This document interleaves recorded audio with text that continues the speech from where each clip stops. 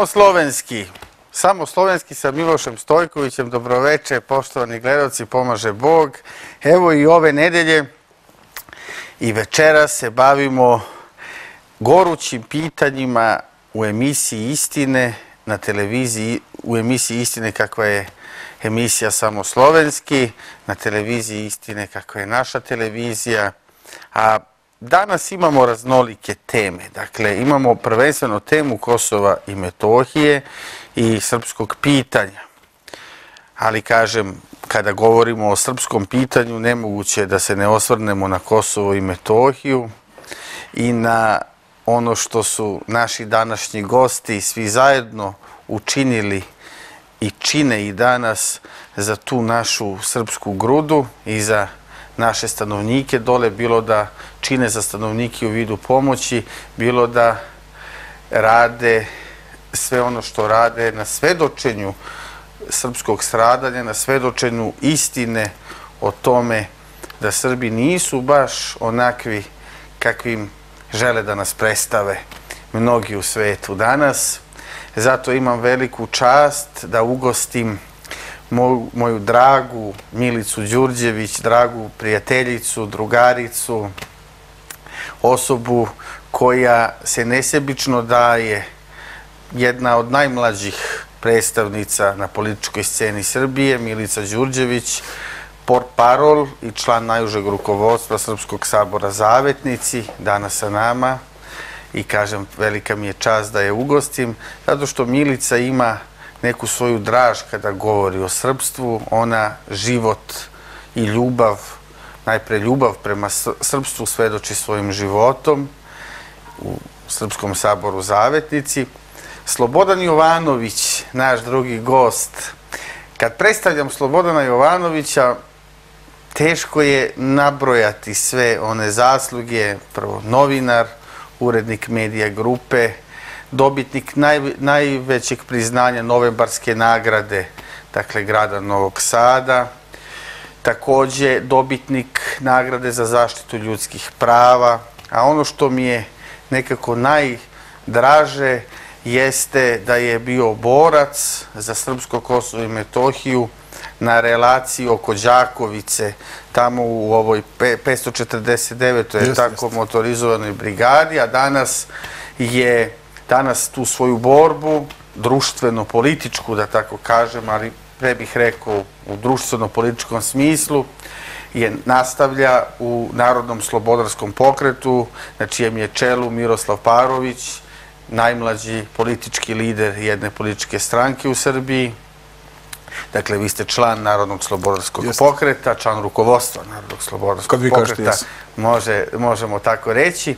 I Bratislav Jugović, bivši potpredsednik pokreta socijalista, urednik portala Komentar Pres i čovek koji je pre četiri godine na Kosovu i Metohiji od, odigrao važnu ulogu prvenstveno za Srbe južno od reke Ibar, kada su tamo održani prvi lokalni izbori pre četiri godine. I opštinu Zvečan na severu. Naravno i naravno na severu Kosova i Metohije, ali nekako 90.000 Srba živi južno od Ibra, pa je nemoguće govoriti o Kosovu i Metohiji, a ne, ne staviti u prvi plan tih 90.000 ljudi po srpskim enklavama. Dragi gosti, pomaže Bog i dobro nam došli. Bog pomogao i bolje vas naši. Hvala na pozivu. Hvala na pozivu. Krenut ćemo od, od naše Milice. U prošloj emisiji je bila ovde na tvom mestu Milice Danica Marinković, sudija, istražni sudija, ona koja je dakle, dokazala da Srbi nisu činili zločine na prostoru Kosova i Metohije, nego naprotiv da su neki, da su prvo Albanci krojili planove za, za egzodus, za progon Srba sa prostora Kosova i Metohije. Ti si, i nju sam nazvao srpskom heroinom, a ti zaista to jesi, pogotovo među ovako mladim generacijama. Nedavno, počet ću od te teme, nedavno si se oglasila povodom sramnog, sramne projekcije jedne koja se održala u Beogradu. Možeš li nam nešto više reći o tome? Da. Pa imala sam priliku da u jutarnjem programu jedne televizije s nacionalnom frekvencijom gostujem na temu te skaradne predstave koja je održana na otvaranju Bite festivala u Beogradu. Videli su građani, javnost je imala priliku da, da vidi o čemu se radi. Dakle, predstava je trajala 24 časa i ono što je bilo najstravičnije u svemu tome jeste da je čitavu predstavu prenosila radio televizija Srbije i to na svom trećem kanalu koji je i rezervisan i namenjen upravo nekim kulturnim i umetničkim sadržajima. E, zaista e, sam ambijent ove emisije je takav da ja ne želim da prepričavam u njemu e, ispoštovanja i prema vama kao domaćinima, ali i prema našim gledaocima, da prepričavam sadržaje te, te predstave i uopšte same te kadrove koje smo imali prilike da vidimo na radio televiziji Srbije, jer svaki pristojan čovek tu prepoznaje samo vulgarizam, e, i ništa van vulgarizma, tu nema nikakvog umetničkog dojma, tu nema nikakve kulture. I moje mišljenje je da je to sve deo, e, i deo procesa uopšte desrbizacije i naše kulture i uništavanja našeg identiteta, i uopšte nametanja tih nekih e, nakaradnih vrednosti. Dakle, nije tu reč ni o kakvoj umetničkoj slobodi, ni o kakvom umetničkom izrazu, e, ni o kakvoj predstavi nekog kvaliteta umetničkog. Došli su amateri iz Belgije i izazvali su toliku pažnju, zahvaljujući medijima koji jedva čekaju da se nešto tako skaradno i vulgarno, naravno pojedinim medijima, da se odmah ogradim, koji jedva čekaju da se tako nešto stavi na pijedestal. Nažalost, u toj emisiji sam se susrela sa uh, direktorom Bite festivala i Bitev teatra, uh, koji je to odbranio, uh, tačnije pokušao da odbrani jednom vrlo lošom argumentacijom, zapravo pokazao da argumenta tu i nema i mislim da su oni... Šta je on kazao? Pa on je recimo rekao da je to može da se stavi u ravan kao što se na olimpijskim igrama proda uh, 60.000 uh, kondoma, eto to je rekao, to je bio njegov argument. E sad ako neko razumeo šta on tim je hteo da kaže, ja iskreno nisam razumela, možda nemam ovaj, dovoljno pameti da razumem njegove poruke, ali recimo njegov saradnik je gostujući na jednoj drugoj televiziji izjavio E, kako su, rugao se time bukvalno svima nama, kako su ta dva glumca, iako to nisu glumci, to su egzibicionisti, znači svako ko se malo razume u teatar zna da nije reč ni o kakvim glumcima, kako su oni zapravo u publici slali poruke kroz analni otvor. I sada e, ja sam tu postavila pitanje da li je srpski narod, da li, je, da li su građani Srbije koji Beograd je ugostio, Beograd je bio izuzetna kulturna i duhovna prestonica, ugostio je dojene, i rediteljstva, i dramaturge svetske, i glumce. Da li je sada taj Beograd i da li je sada ta Srbija zaslužila da je neko šalje poruke kroz analni otvor. E, I ne samo to, nego postavlja se pitanje e, O, meni se recimo dan nakon emisije javilo više desetina kulturnih e, radnika iz Srbije e, koji drže razna udruženja, ljubitelji pro, poezije, proze, ljudi koji zaista to samo iz ljubavi rade i bore se da opstanu, da sačuvaju taj naš identitet u ovom vremenu, ne primaju nikakve ni vrste pomoći, ni olakšice iz Ministarstva kulture, a imamo situaciju da Ministarstvo kulture finansira ovakve projekte. To vređa javni moral, a javni moral je zagarantovan Ustavom Republike Srbije i to pokazuje da su određeni pojedinci sa vrlo jasnim zadacima uzurpirali određene funkcije u našim institucijama, e, jer znate kako, kad jednom narodu oduzmete pravo na taj duhovni otpor, taj narod je osuđen na propast. Mi smo kroz istoriju bili u velikim neprilikama, i vojnim, i ekonomskim, i privrednim, i bezbednostnim, ali smo nekako, zahvaljujući tom našem duhovnom otporu i toj našoj duhovnoj vertikali i kulturnoj, uspevali da odolimo svim tim izazovima. Bojim se da su oni e, poučeni svim tim iskustvima danas rešili da nam uskrate i pravo na taj duhovni otpor i da je ta predstava na neki način e, sama po sebi samo jedan od primjera svih tih metoda kojima se oni koriste. Kako Milice danas komentarišeš? Eto, ta predstava je jedna u nizu e, ne, e, aktivnosti koje prosto remete i vaspitanje naše omladine, remete naše tradicionalne vrednosti, naše porodične vrednosti. Mi danas imamo farmu, parove, zadruge, dakle, i, i razne reality programe. Ja sam se zaprepastio činjenicom da preko milion ljudi dnevno samo preko YouTube-a, dakle u jednom danu preko milion ljudi samo preko YouTube-a uđe e, na razne ove te reality programe, ne, ne, neću da ih ovde reklamiramo dodatno. Kako ti to komentarišeš i kako to sprečiti? Da li to tebi smeta kao i političkom predstavniku i kao jednom mladom građaninu Srbije kada vidimo da na neki način i devojčice i dečaci i naše generacije nekako svest prema životu kreiraju gledajući šta to radi tamo neki era, šta to radi neka seka ili dok naravno dok komponuju i, i, na, na estradi i naravno u, u parovima. Nekako mi je po, popularniji neki zmaj od šipova, lažni tamo neki, neki delatnik od ne, naših onih ponositih ljudi, ponositih e, delatnika e, za istinske vrednosti u našoj zemlji. Kako ti to komentarišeš i ako je negativno, kako stati svemu tome na put? E, Pa činjenica je da ta realitizacija Srbije traje već nekoliko godina i mi smo svedoci da je to naša stvarnost i da je uzelo maha i da mnogo ljudi zaista prati redovno te reality programe. E, Ja nisam o tome nikada u javnosti govorila, ali evo sada već kad se pokrenula ta tema, ja sam imala konkretno poziv da budem učesnik u jednom reality programu koji se sada emituje na televiziji Pink i prosto nisam, da kažem, prva, prva koja je pozvana sa političke scene u taj reality, ali sam svakako bila prva koja je odbila tako nešto zato što smatram da to nije polje na kome ja želim da predstavim ni ono za što se zalažem, niti da se na taj način obraćam građanima, iako sam svesna da bi to dovelo do neke instant popularnosti, do neke prilike u ovom trenutku velike medijske blokade, složit ćemo se svi, za sve ono što je van institucionalno, van onih okvira koje oni nalažu. E, Svesna sam bila tih nekih pogodnosti, ali zaista nikada ne bih učestvovala u tako nečemu. Što ne znači da ne razumem i da odmah usuđujem i da upirem prstom u ljude koji to gledaju, jer moramo da budemo svesni da ljudi jednostavno traže beg iz ove realnosti ovakve kakva danas jeste. I mnogo im je lakše kada dođu sa posla da uključe reality program, da gledaju tuđe svađe, tuđe probleme, tuđe živote, tuđe prepirke i da na taj način pobegnu od svojih. E, Danas osuditi građane Srbije za tako nešto je greška moramo da osudimo one koji su uh, kreirali takvo stanje.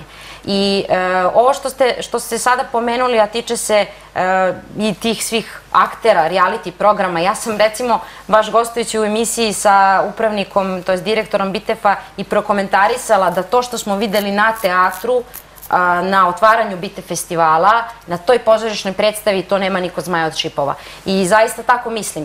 E, ono što je problem kada se izbriše ta granica između reality programa koji može biti neka vrsta a, lake i jeftine zabave, ali kada to počinje da se odražava na društvu u celini, kada uzima a, maha da ljudi preuzimaju obrazce ponašanja ili kada se to preseli u pozorište sa ciljem da nam neko to plasira kao umetnost i kao nešto što ima nekakvu kulturnu vrednost, je tu onda postaje problem. E, mislim da je neophodno tome stati na put pre svega zato što je postalo veoma masovno i zato što mi kao društvo danas imamo jako puno problema i na neki način e, je neophodno da građane pripremimo za e, niz nekih eventualnih situacija i izazova, a ne da im skrećemo pažnju sa realitima koji su konstantni i koji su postali praksa gotovo na svakoj komercijalnoj televiziji.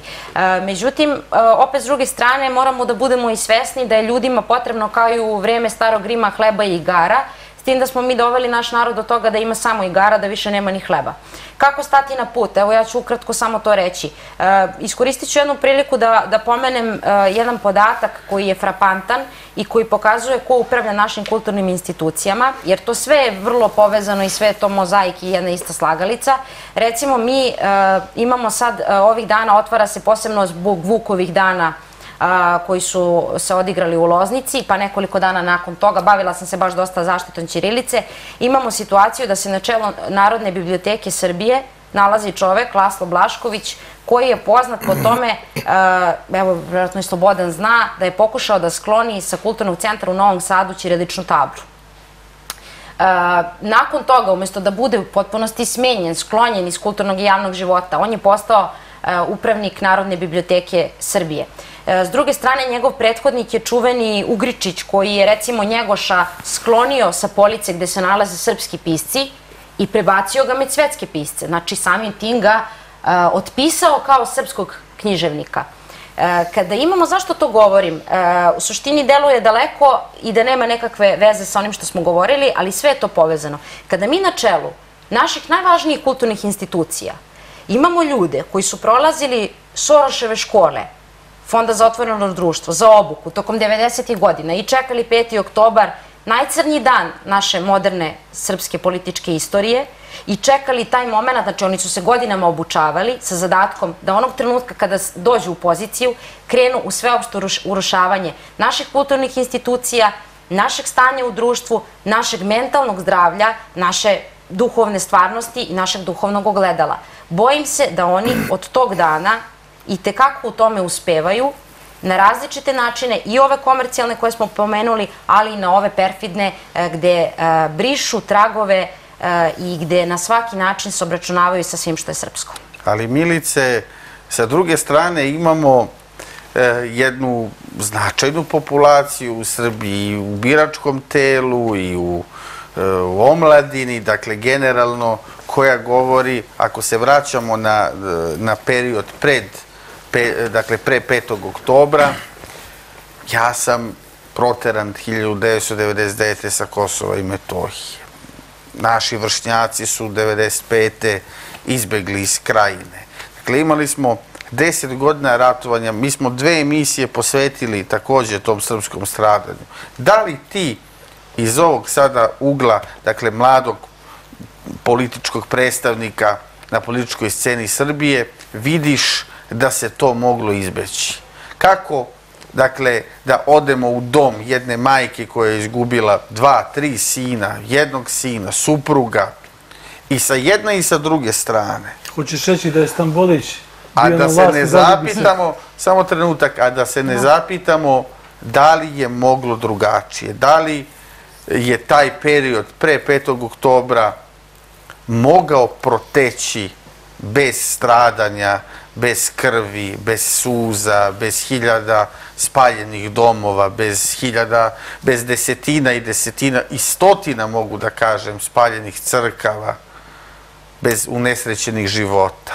Šta ti misliš? Mislim da to pitanje ne leži uopšte na našoj odgovornosti i na našoj savesti i da srpski narod, pa čak ni rukovodstvo Savezne Ovi Republike drugi Jugoslavije kažu da nije- leži na tadašnjem rukovodstvu. Naravno, pa to je jedna floskula koja se ovde provlači već dugo i upravo je instalirana. Dakle, 5. oktober je bio samo legalizovan. Ja želim da ogradim e, ljude koji su, znači vrlo jasno to da budem i da preciziram, ljudi koji su otišli na protest 5. oktobra u velikoj meri nisu znali Oni su za čiji želeli interes. Oni su želeli promene. život bez rata, život bez to, krvi, život bez i suza. život bez uostalom- Nadali su se da će biti bolje, a doživeli smo šta Tako danas? Je. Pa doživeli smo da smo danas e, delimično okupirana zemlja. Doživeli smo da... e, Da li nismo postali okupirana zemlja time što smo potpisali Kumanovski sporazum? Pa ne bih se složila, 99. Srbija je ponosni sporazumom dobila pa- rezoluciju 1244. Ali time se po, nikada čitava srpska na- vojska dakle povukla sa prostora Kosova i Metohije. Da li smo to isto mogli u pregovorima da postignemo? Ne u. Rambujeu sigurno, ali možda pre toga. Dakle, kako mi kao mladi trebamo gledati, na- jer pazite, svi kažu to je prošlost, ali ta prošlost je u mnogome odredila i moju budućnost na kraju i budućnost mojih vršnjaka sa prostora Kosova i Metohije. I mi se pitamo, ja kada god odem na grob moga dede i vidim srušen spomenik, dakle, i, i, i- poran grob, pitam da li je ovo moralo biti tako, da li je moglo biti drugačije. Setim se da je tata kada, kada smo napuštali kuću zgazio na našu igračku, dakle moju i mog brata u, u spaljenoj kući.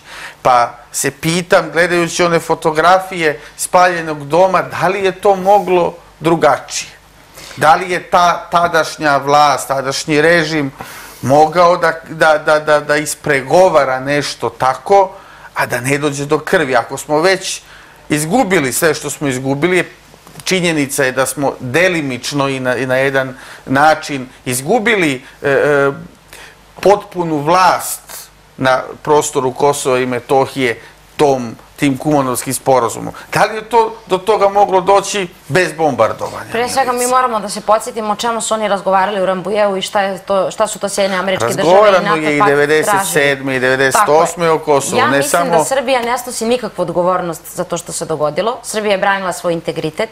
Moramo da uzmemo u obzir da se tadašnje rukovodstvo, ja imam zaista niz stvari koje mogu njima zameriti i uopšte ne, ne smatram sebe e, poštovalacem tog režima.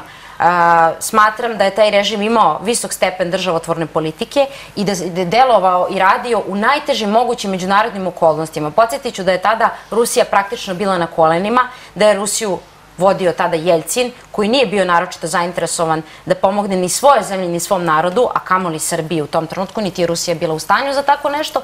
Tako da smo mi u takvim okolnostima, vrlo teškim, e, kao zemlja koja je bombardovana bez saglasnosti Saveta bezbednosti jedinih nacija. Nemojte da se zavaravamo. Postoje e, transkripti razgovora Slobodana Miloševića sa delegacijom koja je stigla iz Sjedinih američkih država i on im je ponudio beli papir i rekao je, izvolite gospodo, napišite vaše zahteve da jednom Srbija sve ispuni da završimo sa tim.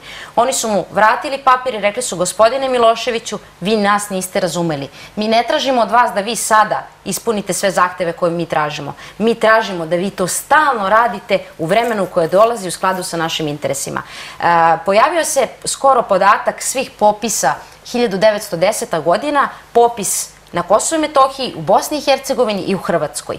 Sve tri strane, i albanska, i hrvatska, i muslimanska strana, govore da su Srbi nad njima počinili genocid. Pogledajmo rezultate tih, tog popisa i vidjet ćemo da tamo gde su navodno Srbi vršili genocid, Srbi su danas drastična manjina, a broj muslimana, albanaca i Hrvata se uh, uviš šestruko povećao. Uh, jedan moj prijatelj baš iz Francuske je rekao, kad je video te podatke, pa milice blago onom narodu nad kojim Srbi izvrše genocid.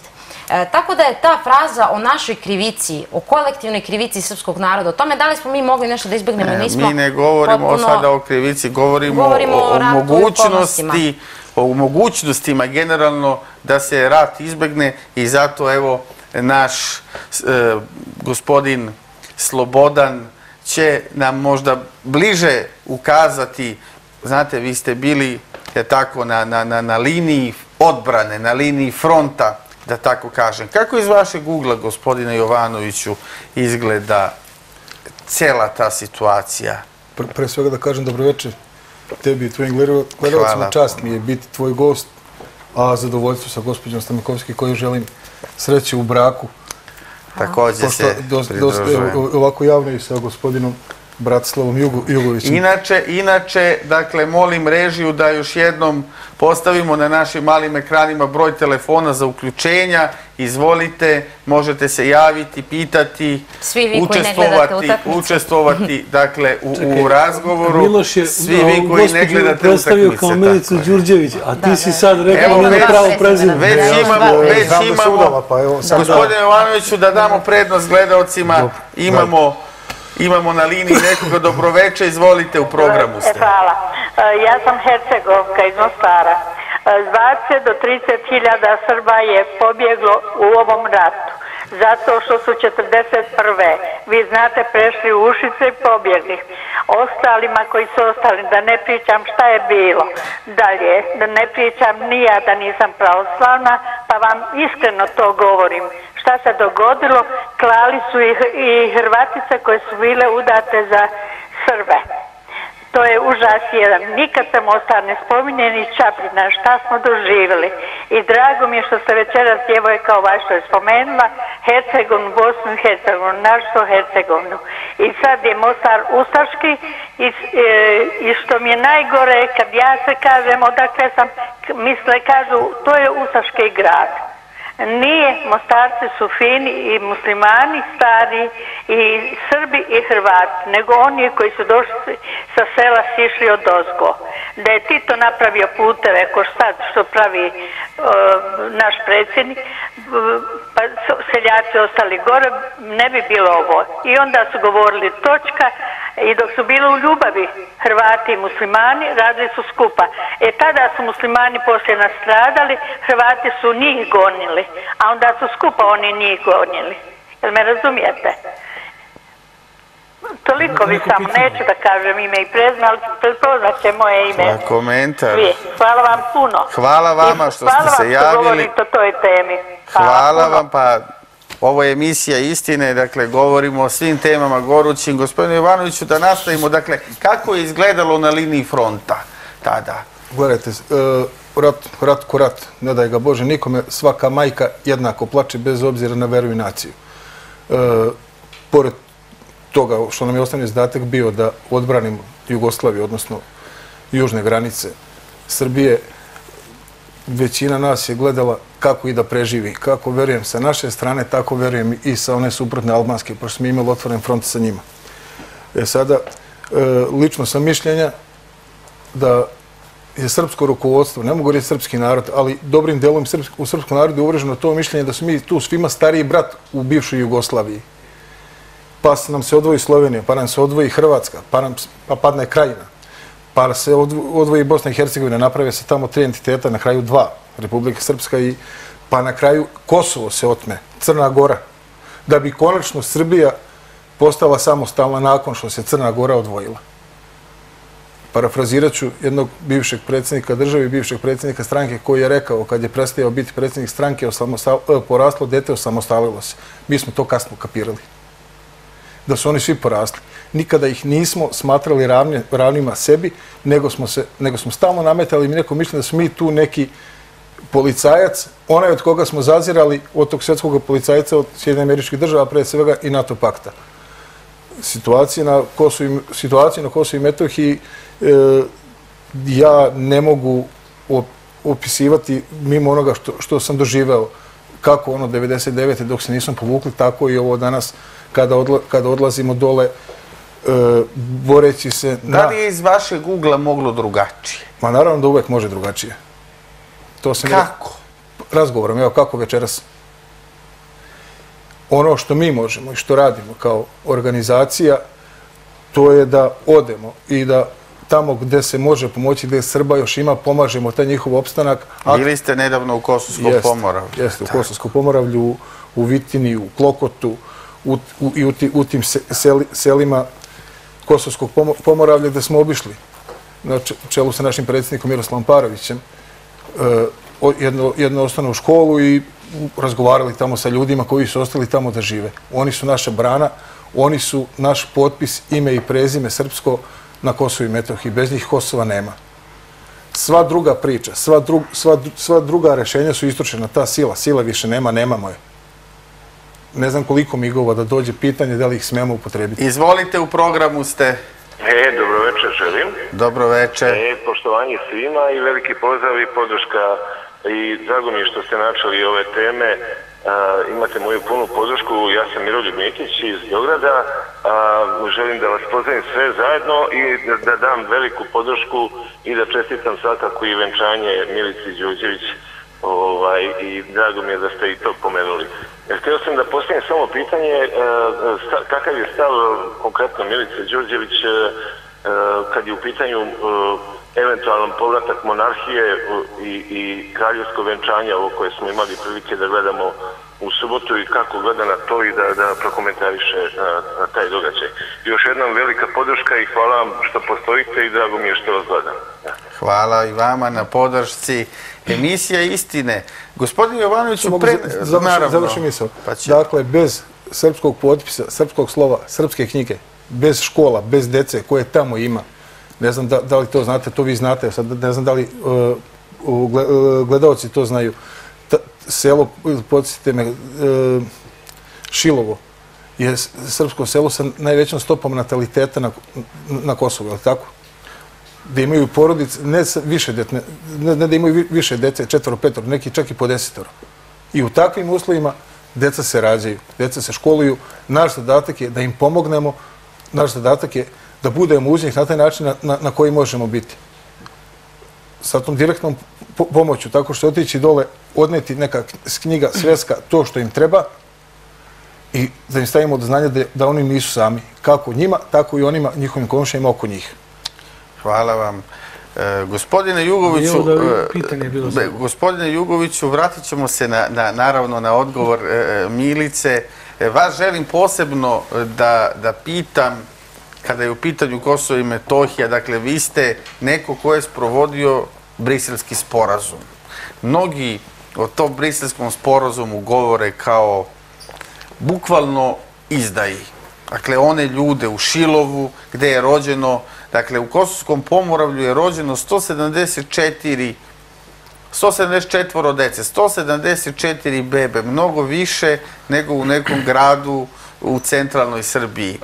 E, toga nije bilo pre 1999. godine. Poznato je da oni, da Srpska ulica na prostoru Kosova i Metohije nije imala policajca Srbina, da srpska deca ispred svoje škole nisu imala ikoga da ih zaštiti u bilo kojoj uniformi, u bilo kojoj, dakle, u bilo kojim takozvanim ili ne takozvanim institucijama. Kako danas vi vidite život Srba na prostoru Kosova i Metohije? Vi ste neko koji je zaista dosta učinio da Srbi tamo imaju i svoga gradonačelnika i svoga policajca, da imaju čija vrata da otvore i kome da se nadaju. Pa dobro, tada da, tada sam ovaj, učestvovao u sprovođenju briselskog sporazuma od, ovaj, da kažem, operativno na terenu, jer tada je bio veliki bojkot među Srbima, veliki stepen nepoverenja. Ali ne na, sev, ne na jugu, nego na Nije severu. na jugu bio kao na severu, ni blizu, naprotiv, ali je bio. Bio je i tada. Sada, sada više nema ni na severu. Sada, na primjer, jedan Dragiša Milović iz Rečana izlazi na te izbore, a tada je bio bojkotaš. A, proklet smo mi narod, jer smo mi tada jedni druge nazivali izdajnicima, nazivali smo to i u nekim ranijim periodima. Ja ne mislim da su uh, proterali smo vladiku Artemija sa Kosova i Metohije, to isto govori kakvi smo ljudi. I mislim da nisu izdanici ni oni koji, mada ja sada sam protivnik briselskog sporazuma četiri godine kasnije, ali ne smatram da oni koji su za briselski sporazum, da su izdanici. Samo imam neko, neko drugačije viđenje. U Kako to odjednom ste ga sprovodili, a Nije sada to bilo odjednom, to je bilo pre četiri godine, sami ste rekli. Dakle, četiri godine je već proces. Pre četiri godine je dogovorena zajednica srpskih opština. Zbog toga je i potpisan briselski sporazum. Zbog toga sam ga isprovodio i sada mislim da je to dobro. Četiri godine nema zajednice srpskih opština. Zašto bih verovao da će u naredne četiri biti zajednice srpskih opština? Dakle, prosto zakočio bih pregovore, tako da kažem. Ne bih radio ništa radikalno, samo bih zakočio pregovore ili bih tražio da se oni izmeste iz Brisela, na primjer, u Moskvu. Da uključimo gledaoca na Dakle, nisam za to da se ne pregovara, da se, da se ne, ne razgovara, da se, da se prekine dijalog, nego da se e, ovaj, dijalog prebaci na neki pouzdaniji teren. Eto, samo to. Izvolite, u programu ste. Izvolite.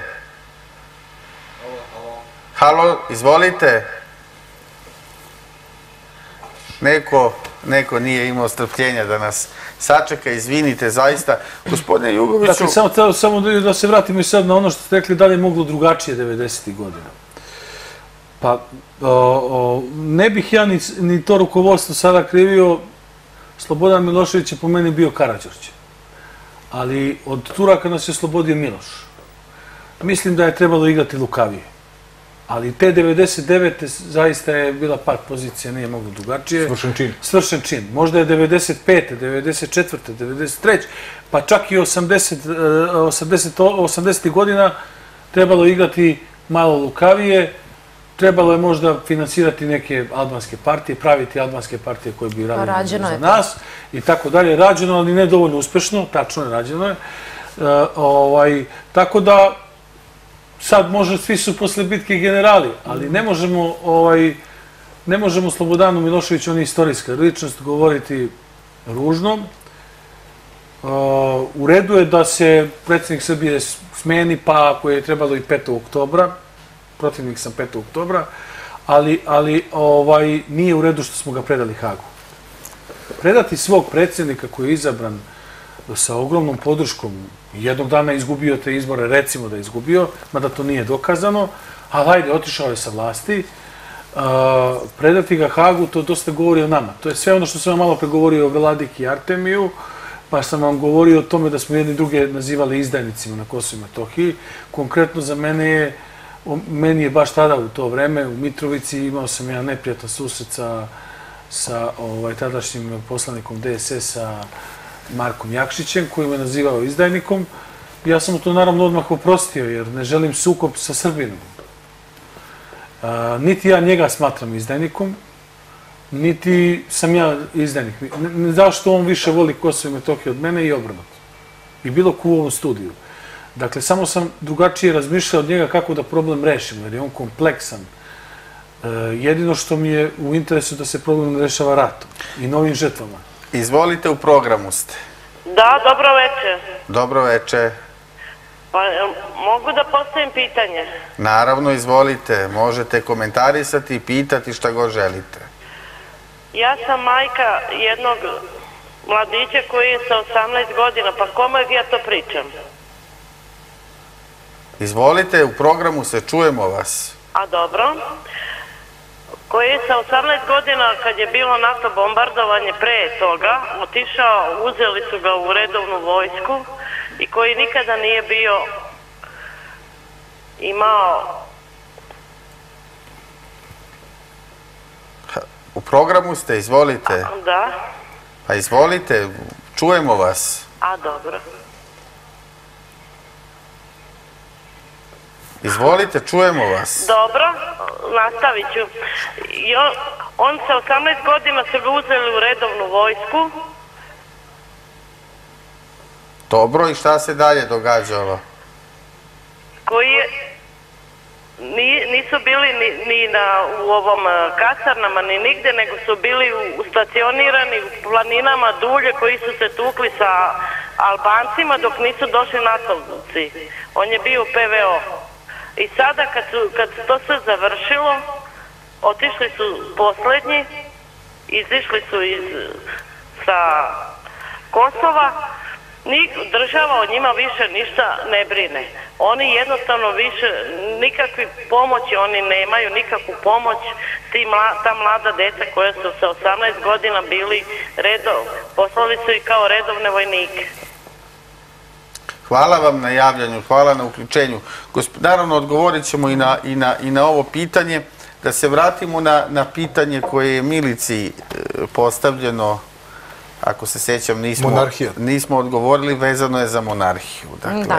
Pa hvala na pitanju. Ja sam više navrata pominjala da sam ja po ubeđenju monarhista, ali da smatram da za tako nešto su potrebni i uslovi i okolnosti i naravno ispratila sam venčanje Kraljevića Filipa i zaista smatram da je to važno i da je to nešto što e, drži narod homogeni. Međutim, u ovom trenutku deluje mi da naša kruna, to moram da kažem sa velikim žaljenjem, nema tu snagu i nema, e, mogu opet da, da kažem isto sa, sa, sa velikom tugom, taj ugled trenutno da e, u narodu da se povrati državno uređenje monarhije, koje je u svakom slučaju nasilno skinuto i to smo svedoci na koji način.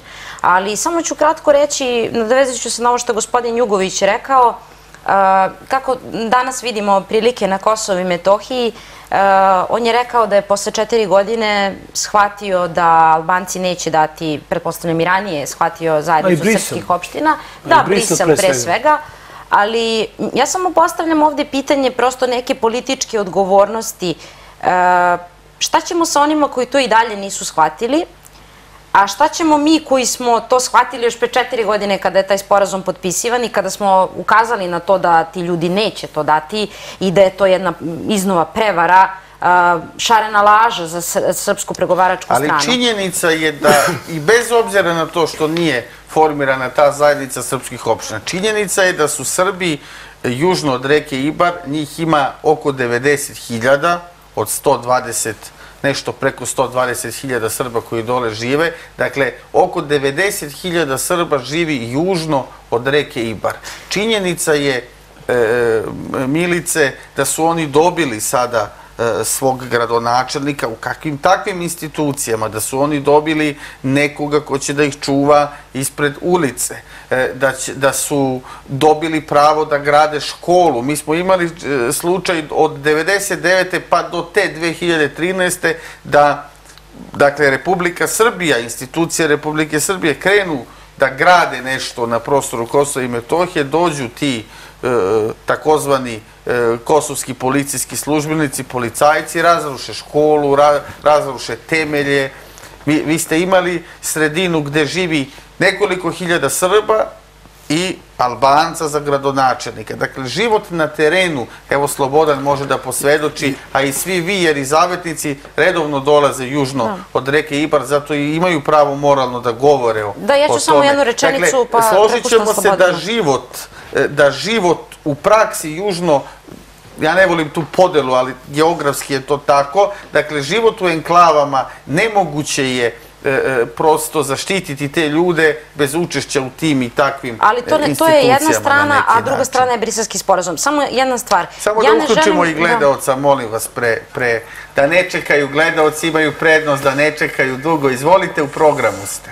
Halo? Halo, u programu ste. večer. Dobro večer. Zovem iz Beograda, Nada iz Beograda. Htjela bih da se obratim vašoj, vašoj koleginici, odnosno gostu u studiju i malo me ovaj, povredilo to što ona kaže da nije dovoljno obraćen, obraćen, ovaj, da se dovoljno ne obraća pažnja na krunu, odnosno na prestolu naslednika Kraljeviće i sve ostalo. Znate što meni smeta? Verovatno bi vaša gošća mogla i da pojasni da prestolo naslednika, dosta ljudi koje ja znam, otprilike stavljaju tu primetbu da prestolo naslednik, kao i njegova porodica, toliko loše govore naš jezik. Ovo najiskrenije govorim bez nekog eh, posebnog nekog akcentiranja nekakve da ne kažem mržnje ili tako nešto daleko od toga, ali i mene kao i mnoge ljude dosta iritira to što on još uvek nije savladao svoj jezik. Čak i da nije bio tu. Koliko naših ljudi koji nisu u svetu nauče kineski, japanski i sve ostale jezike. Princeza Katarina tečnije i bolje govori tačno, srpski ona jezik. govori, ona se žena trudi, ali na mene, verujte, E. tako da Veliki broj mojih prijatelja zaista zanima, prosto čovek čita i imate osjećaj on uopšte ne razume, čak i da ne razume ono što priča. Ja sam naučila neke jezike i verujte, mnogo bolje se snalazim u inostranstvu nego što on u svojoj hvala vam, hvala ono vam na javljanju. Mislim da niste, da mislim da niste razumeli. Upravo je Milica kazala da ta kruna i nije ono što možda treba da, Da. nas predstavlja. E, tako, ja- da, ja tako kao- da ih nije da. pohvalila, nego naprotiv, složila Upravo se, s slažem vama. sa vama, s tim da ja mislim da je strašnije kada neko ne misli srpski nego kada ne govori srpski, tako da bojim se da je u par navrata prestolonaslednik i opet kažem sa žaljenjem to konstatujem pokazao da ne misli srpski, ali opet ću imati uvek dovoljno razumevanja jer ipak je on na neki način jedna vrsta srpskih siročadi prognanih od svojih ognjišta rasta u nekim e, zaista teškim okolnostima, tako da uvek ću imati razumevanja i za to što i ne govori, a boga mi i vrlo često ne misli srpski, tako da slažem se sa vama, niste razumeli do kraja moju složit konstataciju. ćemo se, e, nadam se ovde u studiju, da Srbija ima sada goruća pitanja koje je muče i, i pre svih tih pitanja ustavno-parlamentarne monarhije ili republikanskog ovaj oblika vladanja, mi treba, vladavine, mi trebamo malo urediti e, prosto našu državu na neki način. Milice, zadržali smo se kod, kod briselskog Da, sporazuma. samo nekoliko rečenica. Ja zaista smatram da ste vi neko ko zaista najbolje po- poznaje prilike južno od Ibra. E, ja ne mogu o tome vama da govorim iz praktičnih nekih pogleda, pre svega zato što je meni zabranjen ulazak na Kosovo i Metohiju Da li je prošle za godine. tebe gradonačelnik Klokota, Parteša, Gračanice po kosovskom, po sistemu takozvane Republike Kosovo, to su za nas samo privremene institucije, dakle mi ih nazivamo privremenim, oni mogu da ih nazivaju kako žele. Da li je gradonačelnik, konkretno pitanje, Klokota ili Parteša za tebe izdajnik? Ne, apsolutno za mene nije izdanik. Ja sam to i ovde u emisiji već rekla pre šest meseci kada sam gostovala. To su ljudi koji su u teškim okolnostima osuđeni na tešku borbu za opstanak. I zaista je neukusno da ja iz, iz Beograda govorim njima da li su oni izdajnici ili nisu izdajnici i da delim dole ordenje ili da delim nekom etikete e, izdajnika i ljudi koji su se prodali ili predali. Ali samo hoću da kažem, to što ste vi rekli, dobili su čuvare ulica, to nije zasluga briselskog sporazuma, to je zasluga nekih okolnosti i pregovora koji se već neko vreme vode. Ali s druge strane, ne možemo mi naš suverenitet na Kosovo i Metohiji i opstanak naroda svesti na čuvare ulica. Slažem se da je to jako važno, ali imamo i druge primere. Evo, pre dva dana Albanac je ušao i zapalio jednu kuću čak u Kuršumliji, što pokazuje da nama neophodna ta zajednica srpskih opština, iako ja smatram da je ona minimalna i da ona u suštini je samo nevladina organizacija pod okriljem izvršne vlasti nelegitimnih, nelegitimnih u Prištini, Dakle, ne zadovoljavam se zajednicu srpskih opština, ali smatram da Srbija mora da zauzme e, mnogo jasn, jasnije i ozbiljnije tu severnu tvrđavu i da tamo ima svoj bastion kako bi mogla na adekvatan način da zaštiti Srbe na Kosovo i Metohiji, jer vidimo da nam Kosova niču širom i ostatka Srbije sa činjenicom da oni ulaze i van administrativne linije. I takođe hoću još jednu stvar da kažem. Mnogo mojih prijatelja iz Pasjana, iz Gnjilana, iz Štrpca, iz Sevca je napustilo Kosovo i Metohiju i otišlo na stranstvo da radi. Imamo i takve primere. I Albanci takođe E, to je sreća. To je Evo, danas smo imali, e, Ramoš e, Haradina je predvodio e, gej paradu u Prištini, tako da je Zapad stigo e, i u njihove redove, a tamo gde oni stignu, tu dolazi dekadencija, destrukcija, samim tim videli smo statistika opadanja prirodnog priraštaja, tako da i, i kod njih je stigla Evropa. Izvolite, u programu ste dobroveče. Dobro veče. Izvolite. Pa evo gledam, sad ova gospođa još priča, pa da li me čujete vi uopšte? Čujemo, čujemo vas odlično. Pa neka, pošto ja sad gledam ona priča, ja se javljam, pa mi nije jasno ko priča tu. Ne, ne, možda je neki problem. Ne, ne, ja, ja sad gledam, posmatram ova gospođica priča, a ja, a vi meni se obraćate. Ne, ne, izvolite, u programu ste, Pa postavite neka prestane pitanje. da priča ova pametna odjela. Ne, vi Dobro čujete sebe, verovatno. E, Smanjite svoj TV prijemnik. evo, sad ću ja smanjim. E, me čujete sad, gospodine? Sada vas odlično čujem. E, mogu ja nešto da kažem, znači, krajnje je vreme, da, krajnje je vreme da se tu pozovu ljudi koji, koji smo mi bili na Kosovu, ja sam mi to bio na Pasijane, na Mučibave, pričala gospođa. Znači, krajnje vreme je da se pozovu ljudi koji su bili na Kosovu, a ne ti ljudi koji... Da, hoću to da kažem, znači, treba a, mi koji... E, me čujete, molim vas? Čujemo vas odlično. Znači, mi koji smo bili na Kosovu i koji nam država duguje i dnevnice i sve, nas niko ne poziva, poziva u emisije, nego poziva te gospode. I, primjer, ova devojka koja nema pojma o, nekim stvarima.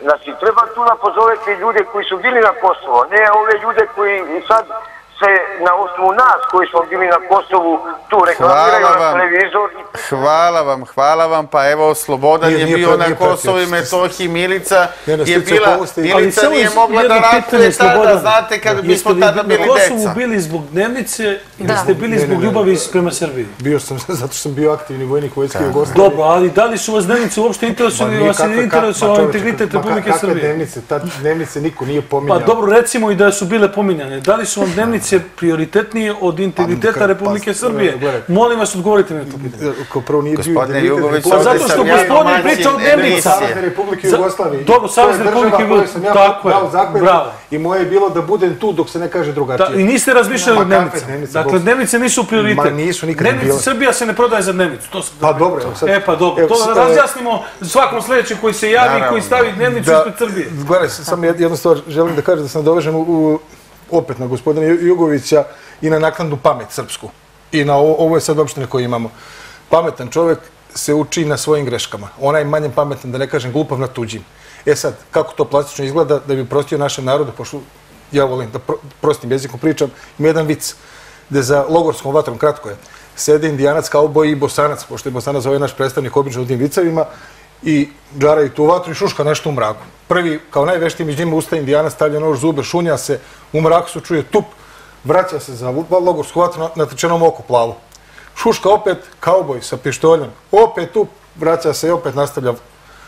Prolazi neko vreme, šuška, bosanac, ode tamo, tup, tup, vraća se ovako, na te koba ovako natrčena.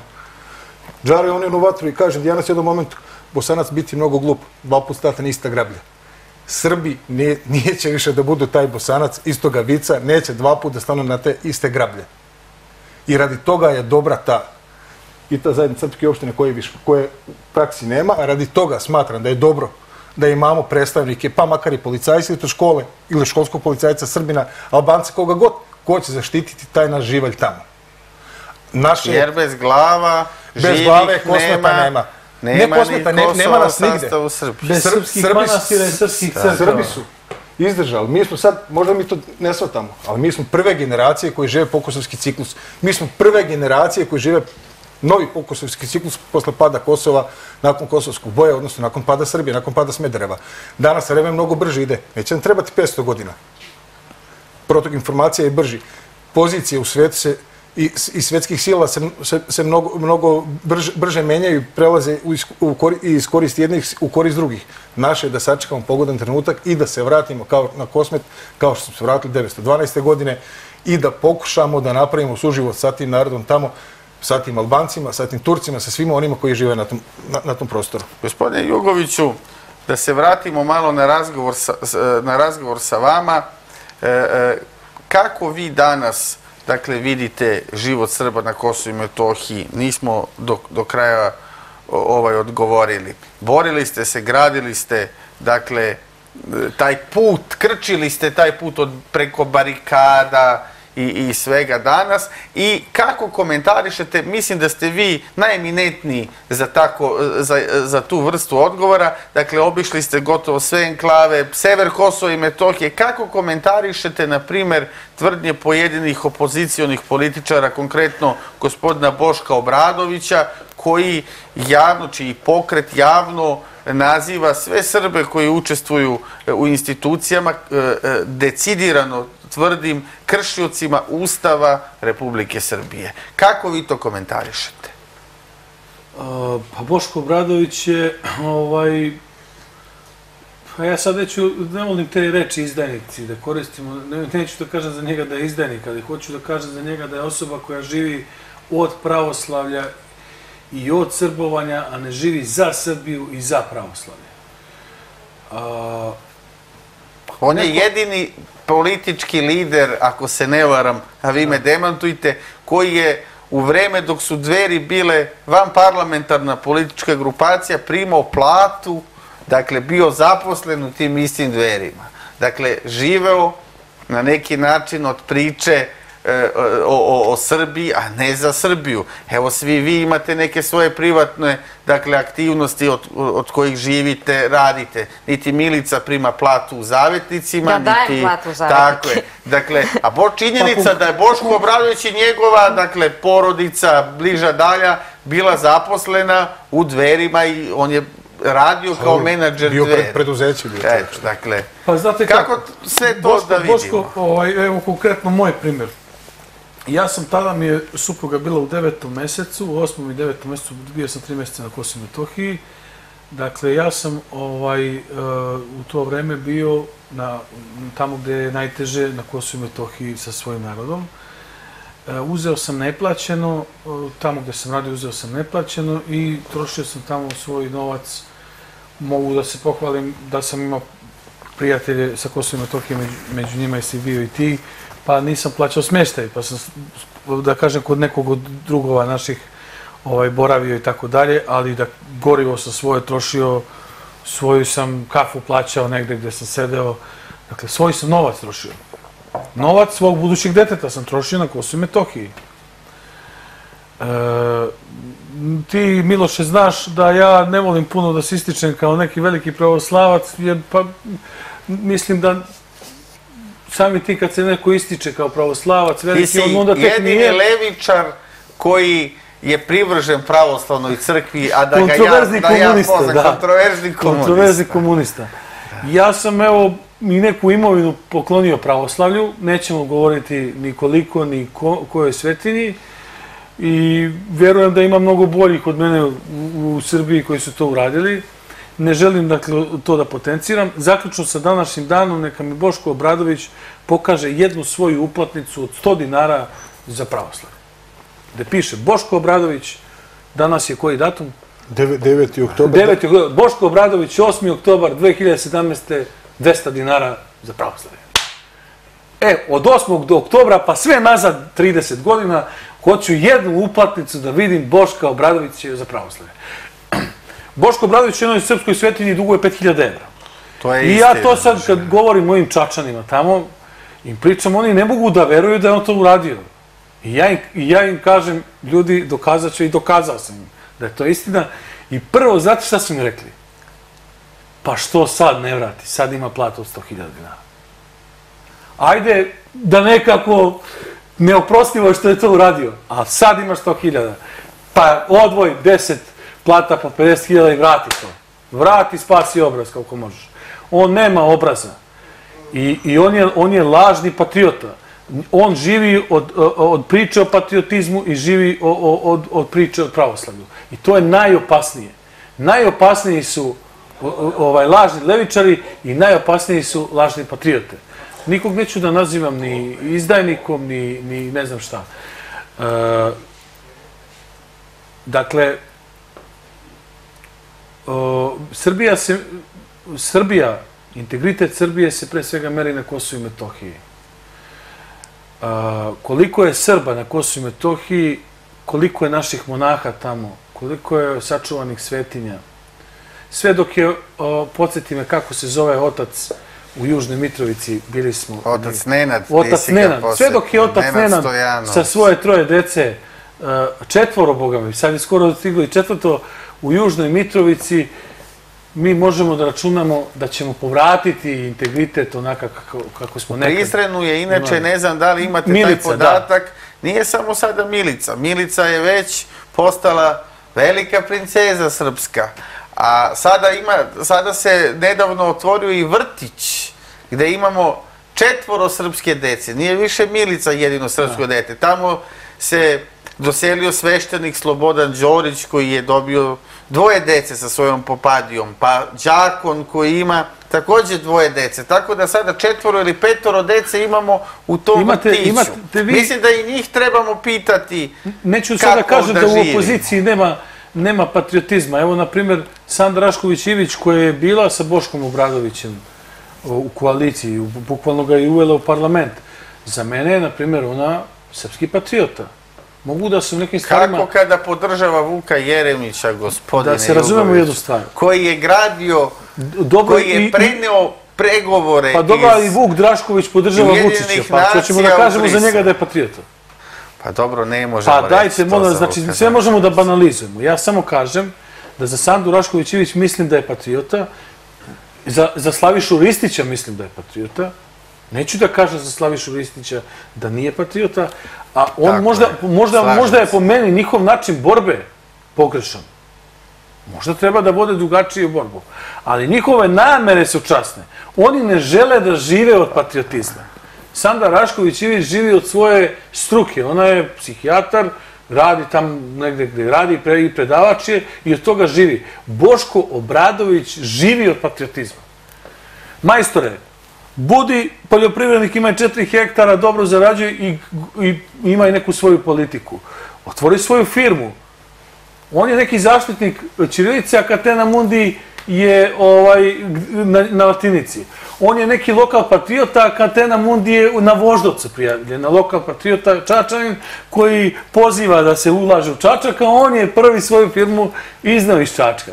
Dakle, e, prosto kontradiktoran je i ne može mu se verovati. I na kraju kaznili su ga oni koji su mu najviše verovali, a to su Čačani, E, on tamo je izgubio 10.000 glasova na, na predsjedničkim izborima i u svom selu Vranići, gde mu je uglavnom i svojta, gde su tu, tu njegova familija više od, od 70% sela, gde on ranije ubedljivo pobeđivao na tom biračkom mestu, on je svega nekoliko glasova dobio u Vranićima, znači njega više ni njegova familija neće da glasa. I poslednji primer koji mi je onako potpuno gadljiv, Vi znate, političari vole da se slikaju u neki, ne znam, u nekim radnim akcijama, pa nešto su pomogli negde i tako dalje.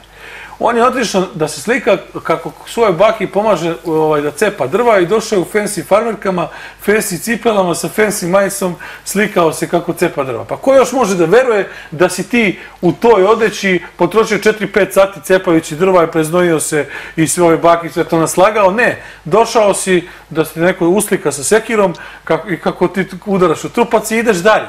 Dakle, neiskren si šalje neiskrene poruke. I to je me užasava. vi- Znači, političare možemo da delimo na one koji su za NATO i protiv NATO, za Europsku uniju i protiv Europske unije, koji su za levicu, desnicu, za drugačiju raspodelu društvene dobiti i tako dalje. Ali, na političkoj sceni moramo da znamo ko je iskren, a ko je neiskren u onome što govori. Recite mi kako... Dakle, kako Saša Janković je vrlo iskren. Na primjer, ja Saša Janković, koji mi, me samo- izuzetno iritira, on je vrlo iskren. On je za ulazak Srbije u NATO, za ulazak Srbije u Europsku uniju. Kakvu, Dakle, ne folira kakvu Srbiju vi vidite u budućnosti?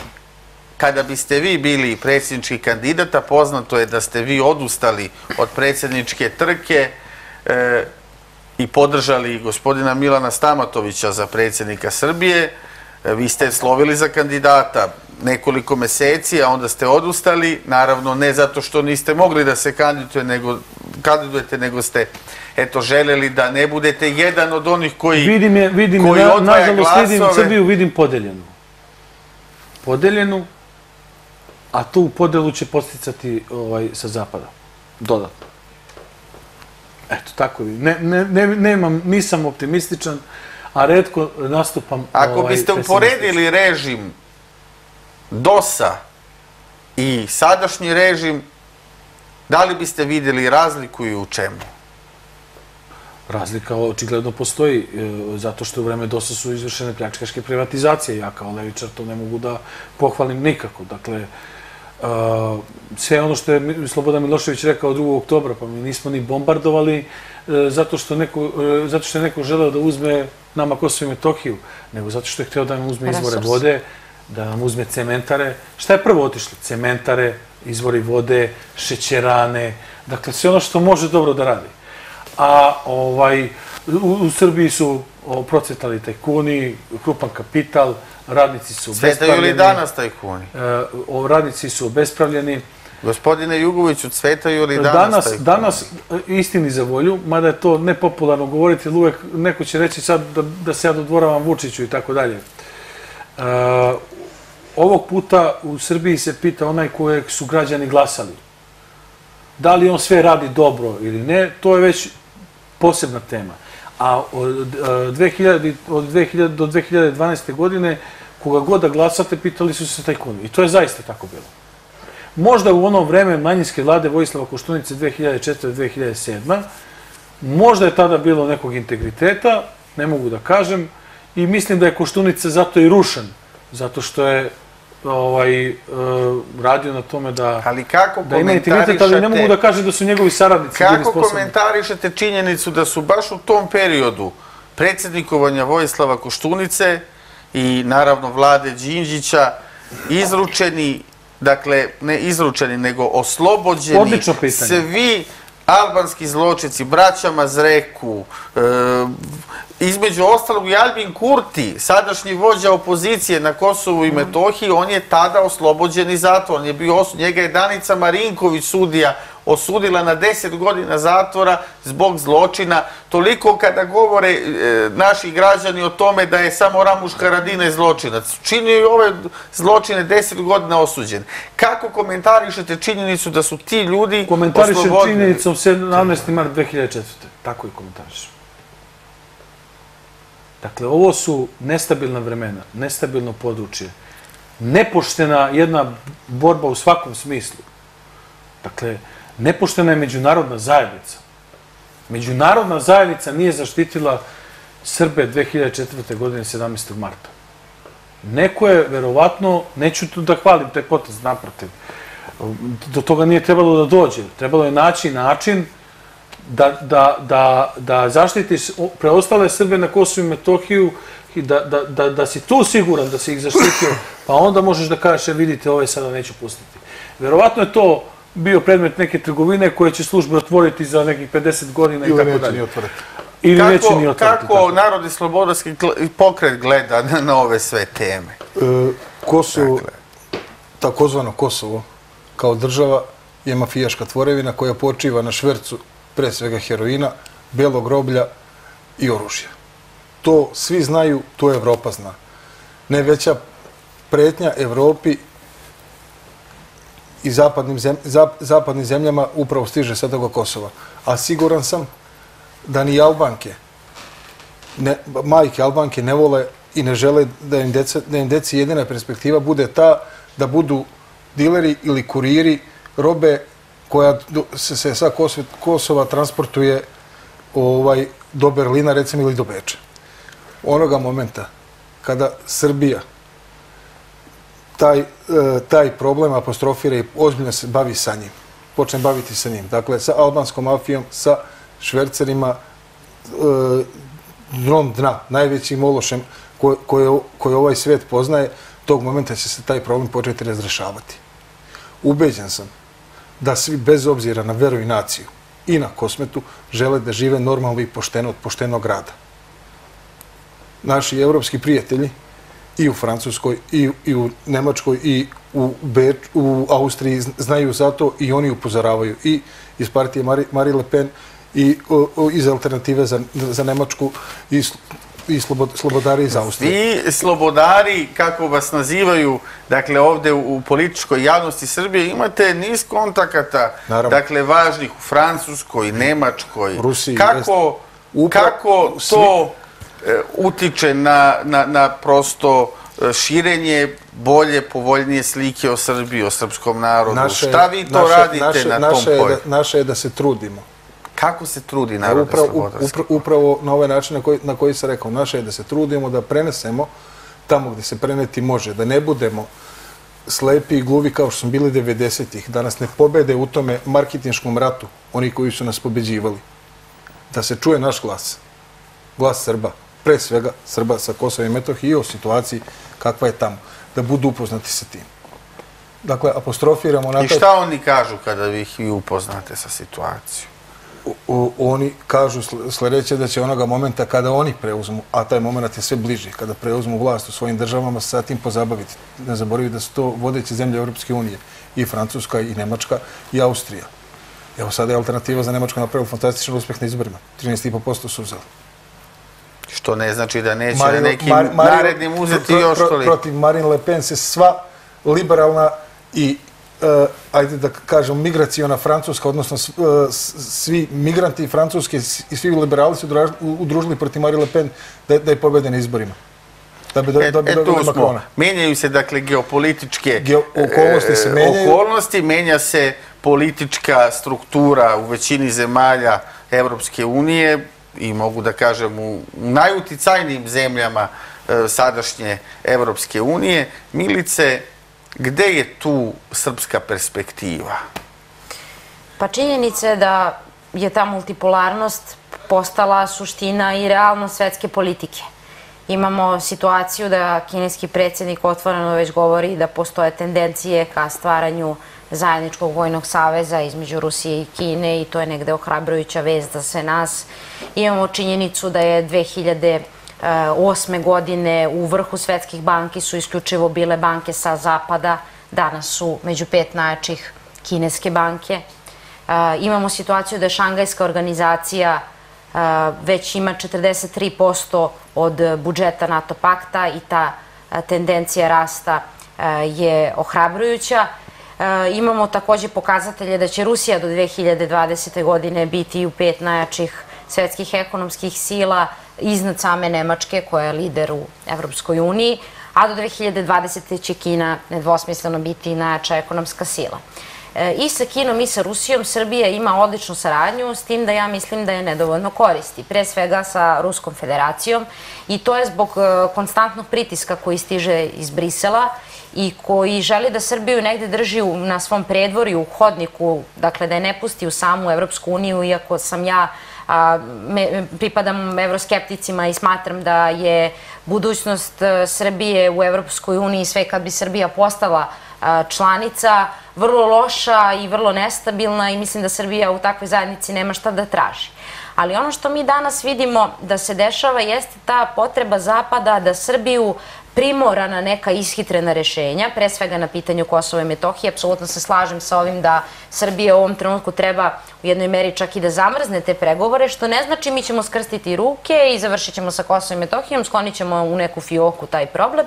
Ne, nego jednostavno da tražimo neke povoljnije uslove i imamo puno pravo da postavimo pitanje briselskog sporazuma, jer se briselski sporazum ne primenjuje u skladu sa onim što je obećano. Dakle, nije došlo do zajednice srpskih opština, nemamo čak ni neki taj vid zajednice srpskih opština južno od Ibra, što je takođe po mom nekom mišljenju važno. Ne možemo mi čitavo Kosovo i Metohiju svesti na, na, na sever e, i niz nekih drugih stvari koje su obećane, ali e, ima Srbija sada veliku perspektivu i priliku ukoliko postoji politička volja za, za tim. Nažalost, ja je ne vidim i ne vidim vladu homogenu po svim tim pitanjima, vidim tu prilične razlike, vidim neko ko lobira za NATO pakt poput Zorane Mihajlović, pa obračune sa ministrom odbrane Aleksandrom Vulinom zbog različitih nekih koncepcija spoljno-političkih, ali mislim da Srbija pre, pre svega treba da shvati da to što se geopolitičke prilike menjaju ne znači da će se putevi za nas sami od sebe otvoriti. Mi moramo sami da agitujemo i sami da pokrenemo jednu vrstu diplomatske ofanzive. U ovom trenutku bilo koje brzo rešenje što se tiče Kosova i Metohije I čitava ova medijska histerija koja je pokušala da dijalog sam predstavi kao pitanje da li mi želimo da štitimo Kosovo i Metohiju ili ne želimo. Ja mislim da tako pitanje ne sme da se postavi. Dakle, mi možemo da vodimo dijalog samo o tome na koji način ćemo mi vraćati poluge suvereniteta na Kosovo i Metohiju, a ne da li ćemo vraćati. Tako nešto ne Kako smo se ćemo postavi se kao pitanje. ponašati u, na okupiranoj teritoriji? Tako je, kako ćemo se ponašati, ali Dakle. samo još jedna stvar koju želim da kažem, e, mi moramo da budemo svesni da e, preko 50% svetske populacije čine zemlje poput Rusije, Kine, Indije, Brazila, koje nisu priznale ju- južno, južno, evo sve zemlje BRICS-a recimo nisu priznale Kosovo i Metohiju, to je preko 50% stanovništva, Da da... uključimo naše gledalce ili gledateljku, dobroveče u programu ste. Dobro večer, poštovanje vama i vašim gostima. Hvala, izvolite. Pre svega veliki pozdrav gospođici Milici i e, svaka čast njenom pokretu. Gospođi Milici. Gospođi, pardon. Ovaj, Od nedavno Milici. da, ovaj, e, ako može da odgovorim na pitanje, odnosno kako komentariše to sa, a, saradnju srpskih vlasti sa tim zločinačkim a, ne znam kako da ih nazovem, ljudima koji su na čelu takozvane Republike Kosovo i da stav Srpske pravoslavne crkve koji je isključiv i koji ne želi nikakav dijal, unutrašnji takozvani dijalog vezan za Kosovo i Metohiju i da li je moguća a, saradnja, bliža saradnja sa srpskim otlačastvenim pokretom obraz. Hvala veliko. Hvala vama, hvala vama. E, ovo pitanje bih postavio svima vama u studiju. Kako komentarišete koaliciju? To je možda i ključno pitanje. Kako komentarišete koaliciju Srba, dakle srpskih predstavnika u Skupštini za nas, kaže, privremenoj Skupštini autonomne pokrajine Kosova i Metohije sa Ramušom Haradenajem, ako imamo u vidu činjenicu da je i Kurti e, 10 godina bio u zatvoru zbog zlo, da, osuđen, dakle zbog, zbog zločina. E, to je pitanje za sve vas, ali da odgovori prvo Milica na, na, na pitanje oko saradnje sa otačastvenim pokretom obrazi Da, generalno. pa evo, mi smo imali niz zajedničkih i protesta i uvek e, sarađujemo sa svim pravim iskrenim ljubavim organizacijama, tako da se to i ne dovodi u pitanje, Kako ali vi samo... vidite pokret dveri danas? Pa znate kako, ja se trudim da se bavim onim što rade zavetnici i onim što se dešava u zemlji, a svako bira neki svoj politički put, iskreno, zaista ne bih to u to A dobro, ulazila da li i je Boško Bradović za komentarisala. vas patriota? Ja sam rekao... Pa znate kako, mislim e, da i narod i sud neki koji on daje je merodavan, tako da ne bih saista ulazila u to. Ne slažem se sa konceptom da treba da se sarađuje sa Sašom Jankovićem i ne slažem se sa tim naravno što je on sklon time da se rukuje i sa Šutanovcem i sa Borisom Tadićem, to su uništitelji i srpske vojske i srpske privrede. tako da mislim da to nije društvo u kojem treba da sedi neko ko sebe smatra patriotom. Ali samo da se vratim na ovo za Ramuša Haradinaja, kratko ću prokomentarisati zaista da e, bi ostali naši sagovornici imali priliku. E, smatram da e, postaviti kao opravdanje ulazak u vlast sa e, s samom činjenicom da će Srbi biti zaštićeni je za mene lično absurd jer smatram da je Ramuš Haradinaj e, osvedočeni zločinac i to činjenice pokazuju čovek koji se hvalio time kako je ubijao i klao nedužne Postoji srpske dnevnik, civile. on, on Postoji. je to napisao, objavio u knjizi. Tako je, i tu nema nikakvog političkog pragmatizma koji može da opravda ulazak u vlast sa Ramušem Haradinajem. Smatram da pozicija i Srpske liste na Kosovo i Metohiji i uopšte srpskog političkog aktivizma na Kosovo i Metohiji mora da bude potpunosti drugačije iskorišćena, da ona pre svega tamo bude konstantan tas na vagi za Ali zaštitu šta? Ajde, ako da Srbi nisu ušli u tu koaliciju sa Haradinajem, šta, je bio, šta bi bio po tebi sledeći korak? Pa ništa, pre svega smatram da mi treba da iskoristimo našu poziciju tamo i da na neki način Kako ako budemo kost u grlu konstantno. Ništa mi nećemo dobiti sa tri, ta tri resora. Svi mi dobro znamo da od vlade Ramoša Haradinaja neće Srbima svanuti ni jedan mirniji i srećniji dan. I to je zaista, e, po mom nekom sudu, prodaja e, žrtava naših. To je jedan nacionalni greh, Ali šta je ono što su po tebi Srbi trebali da urade? Da li da ostanu u opoziciji? Da li da e, prekinu svoje učešće? Dakle, nećemo sa Haradinajem u redu. Šta je sledeći korak? To je, postavlja se pitanje šta sledeće uraditi. Nećemo s njim, ovi nas drugi neće, dakle Kurti i ekipa nas ne žele. Šta je ono što je rešenje? Ne učestvovati, bojkotovati. Apsolutno. Pa evo ovdje da, se, da Ali uzmemo ovo što kaže gospodin Jugović. Šta postižemo su radili bojkot? A šta Albanci? postižemo ovim? Pa šta su radili A evo Albanci zaštitu tokom Srba, koliko 90-ih? toliko. Zamislite da nam se desi novi 17. mart, ali da uključimo, da uključimo gledalca ili gledateljku dobroveče u programu ste. Dobro večer. U programu ste, Pa Evo baš izvolite. e, zadnje što ste pomenuli, ja ne znam, ali moram da kažem da me ovakve emisije e, veoma zbunjuju. A zbunjuju vjerojatno i sve naše birače. Jer e, je mnogo proevropskih stranaka. Ja nisam proevropski orijentisana, ja sam rusofil, ali ne znam koliko je Rusija zainteresovana za ovo područje. Razumljivo, jer je njima m, Bugarska iz e, uvijek bila e, strateški interesantnija i te zemlje koje gravitiraju u tom području. Ja bih voljela da su oni mnogo više zainteresovani. Jer što se tiče saradnje i ove srpske liste i kako glase i učestvuju u parlamentu i pre, ovaj, pregovori našeg, naših zvaničnika, premijera, recimo, e, sastanče premijer, preko puta premijer druge države. Tu nema samo na cr- crno na bijelo Kosovo je država. Samo što neki Kosovo za nas nije država. ne, ćemo u ovoj mene, emisiji to nikada Za mene da nije, ali kad sjednu premijer Vučić, kada je bio premijer, premijer Tači, preko puta, primjera radi. To su za nas privremene institucije. Za nas da, ali zvanično, ne znam. Kako, hvala vam na javljanju, hvala što nas gledate i pratite. Kako, evo, Milica je dala svoje Pa, Mi- mišljenje. Milica, ja sad, Mi- Milica je mene Si. dovela malo u zabunu, pošto na početku emisije rekla da je bilo licemerno da ona iz Beograda komentariše. Da, ali iz Beograda je nametnuto Srbima da uđu To- u vlast sa Evo, evo, dobro, neka je nametnuto. Postavlja se pitanje šta je alternativa. Kažete bojkotovati. Kako su Albanci bojkotovali? Da, milion i po Albanaca je bojkotovalo. To je moglo, taj bojkot je mogao da uspije. A 120.000 Srba ne može da ignoriše milion i 200.000 Albanaca koliko ih danas ima na Kosovu. Jednostavno ne može da... Čekajte, pričamo o bro, poslanika je deset, je tako? Poslanika deset, evo Bez čak- tih deset ne bi se Ne formirala bi se formirala. takozvana vlada Kosova. Dobro, evo, da ne li bi sam se- u pravu ili nisam evo, u pravu? ni- u pravu ste. I novi izbori, nova podela, opet 10 Srba, 11 sa onim Gorancem. A I- što bi nama smetali nove izbore? Ne, ne, ne, nisam- Ko bi imao štetu od novih izbora? Pa dobro, evo, kad, Albanska kad, strana. kad, tad, Ali kad, kad pobedili se mora, isti mora se neka vlada formirati, kad tad, jel A tako? kad dođe kad tad? Evo, dobro, evo sad je došlo kad tad. Jednom i mi da kažemo kad tad. Ali mi kupujemo vreme i izazivamo političku krizu. Tako Da, ali Nama ko- odgovara politička Kome- kriza na ko- njihovom ko- terenu. Kome odgovara vama?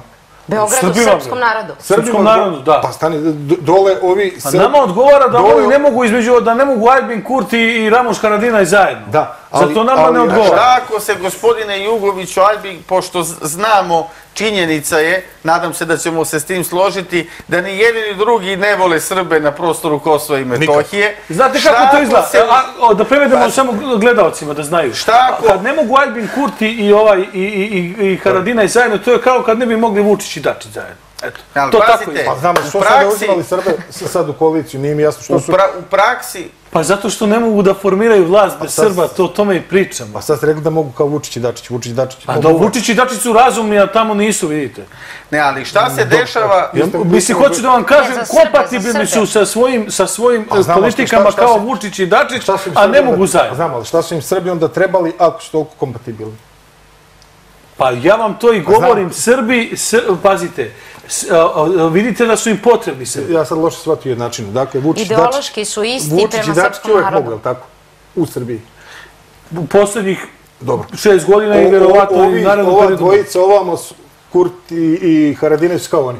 Ali ne mogu, onda nisu kao oni. Meni se Ne, ono Pa što ne, je... pričam, ono što- njihove politike su kompatibilne. Pa. Ne, ali ono što je, ono, što, ono dok, o čemu treba da razgovaramo jeste zaista ono što smo se i složili na, na, na početku emisije, taj praktičan život Srba. Dakle, šta se dešava, evo pitanje za sve vas u studiju, šta se dešava onda kada, dakle činjenica je, ne može da se dogovori Kurti, ni sa kim ne može Ramuš Haradinaj, Sr zavisi nešto, zavisi nešto od Srba sada, u nekoj meri.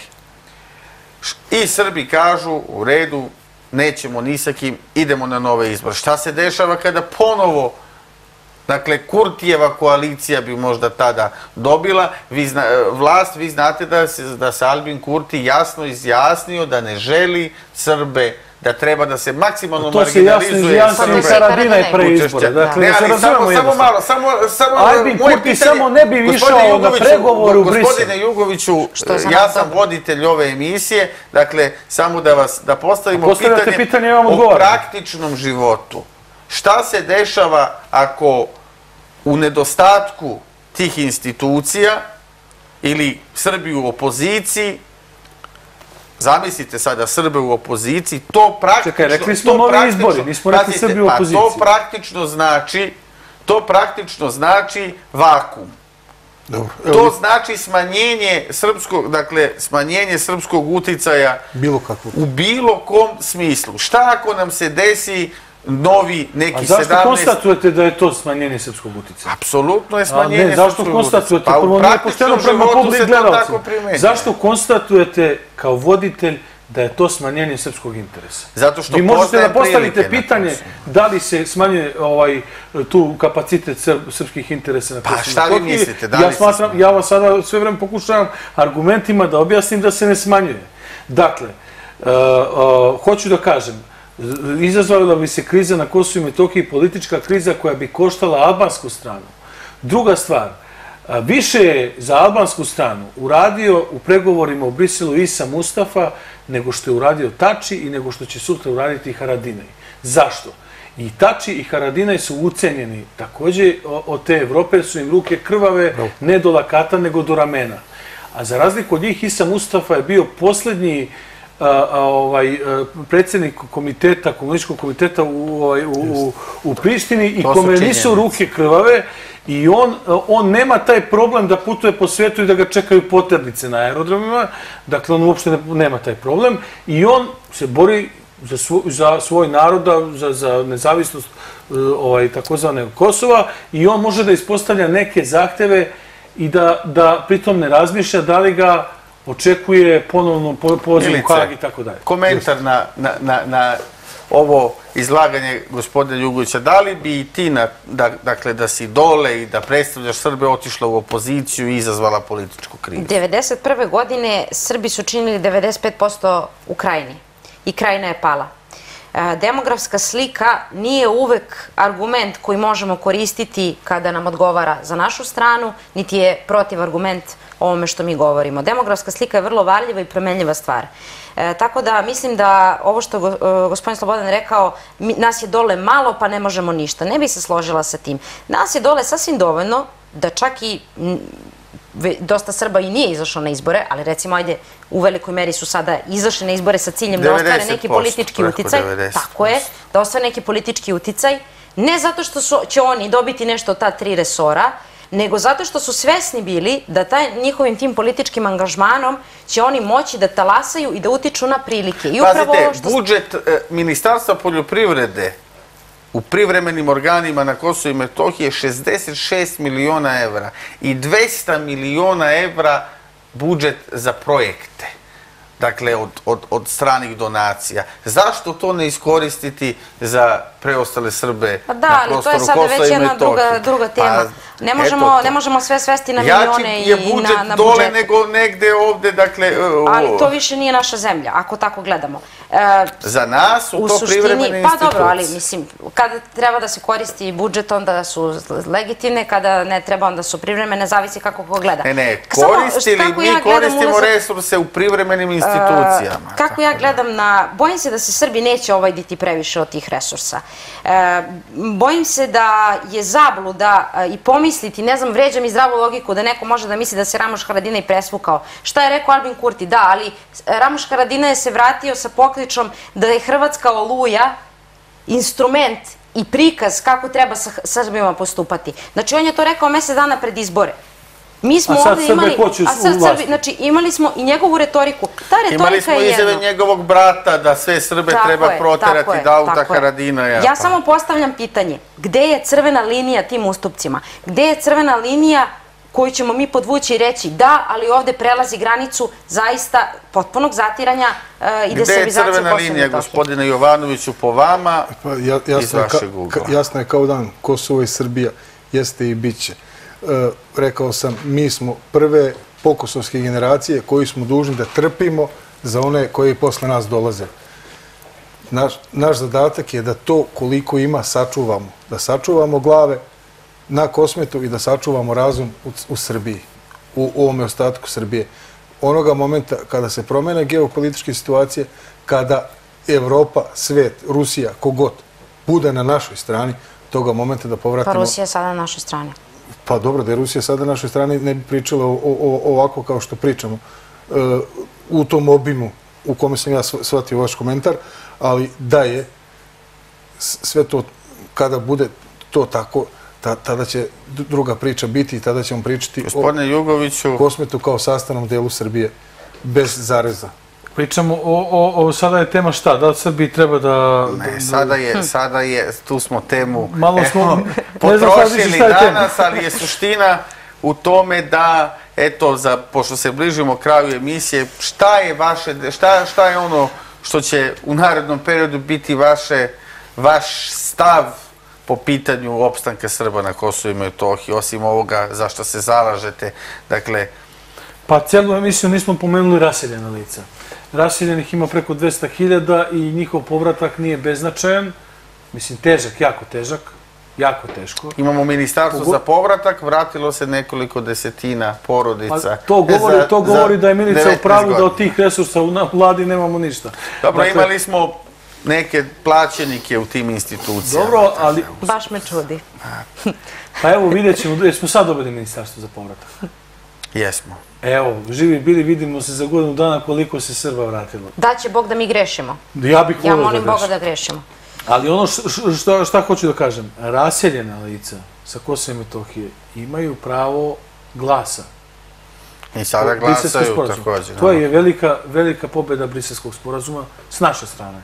To je nešto što treba da pohvalimo našu delegaciju u briselskim razgovorima, što su se izborili za glas raseljenih.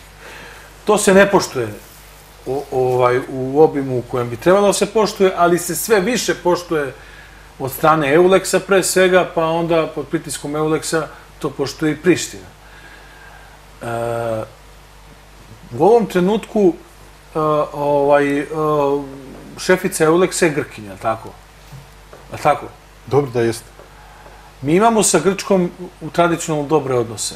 Vi ste i prijatelj grčkog premijera. Znate, ko, ko, znate, li ko je, znate li ko je najviše ulagao u odnose sa tom grčkom, a, a, o- sa tom predstavnicom Euleksa, koja je Grkinja? Ispred države Srbije ne, ne znam da je neko toliko ulagao u te odnose kao Miloš Stojković.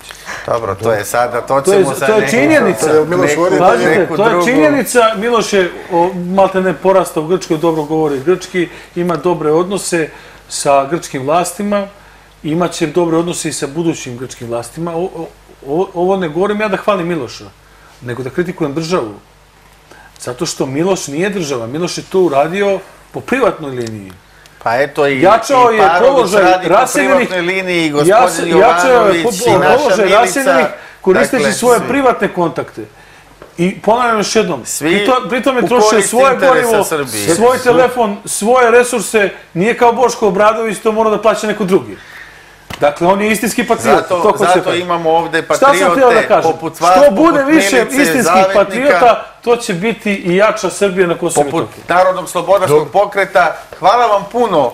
Mnogo je tema. Mnogo je e. Obećavam da ćemo u nekoj od narednih emisija ponovo biti u istom sastavu i govoriti o mnogo čemu, prvenstveno o zalaganjima i Zavetnika i Narodnog slobodarskog pokreta koji ima za svog predsjednika najmlađeg, Jeste, dakle, najmlađeg Miroslava Parovića. Miloš je na početku Takođe- emisije nas sve hvalio. Sad smo našli, došli do toga da mi hvalimo njega. Takođe i Bratislava Jugovića koji zaista svoje kontakte i u Grčkoj i u drugim dakle, zemljama u okruženju koristi na dobrobit naše otačbine. To su svetli primjeri, zato ste i gosti naše emisije Istine, emisije Samo Slovenski. Poštovani gledalci, došli smo do kraja, do gledanja sledeće nedelje. Našu reprizu možete pratiti subotom i nedeljom od 20 časova, također i na YouTube kanalu e, televizije Naša. Do gledanja, Samo Slovenski.